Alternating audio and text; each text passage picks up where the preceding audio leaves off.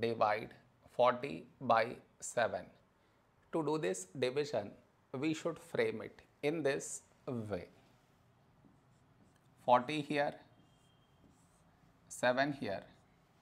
This is your step 1. Next, here we have 4, here 7. 4 smaller than 7. So we should take two numbers 40. A number close to 40 in 7 table is 7 fives 35. Now we should subtract, we get 5. After this, no more numbers to bring it down. So what we do is we put dot, take 0. So 50.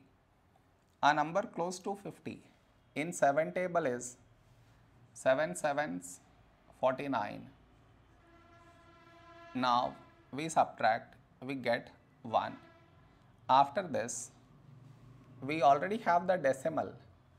So directly take 0. So 10. A number close to 10 in 7 table is 7 ones 7.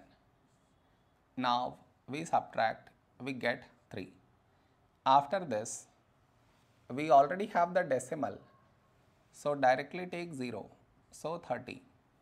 A number close to 30 in 7 table is 7 fours 28. Now we subtract, we get 2 and the division continues.